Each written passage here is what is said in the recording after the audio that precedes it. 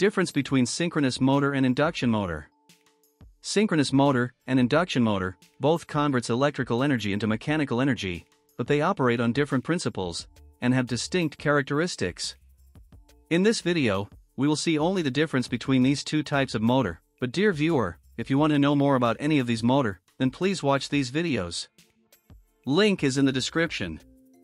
So let us begin our journey. Induction motor works on the principle of electromagnetic induction.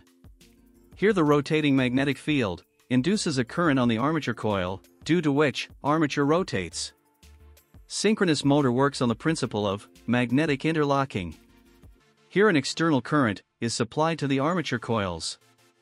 In induction motor, the rotor speed is less than the speed of rotating magnetic field. It means that slip value lies between 0 and 1. In synchronous motor, the rotor speed is equal to the speed of rotating magnetic field.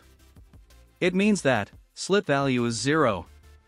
Induction motor have a lower power factor, and a power factor correction may be necessary to improve the overall system efficiency.